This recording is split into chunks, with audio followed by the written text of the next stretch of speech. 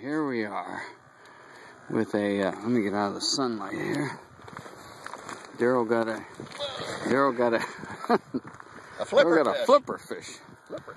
It is a herring. Pretty, it's a nice one. All right, this is our big release.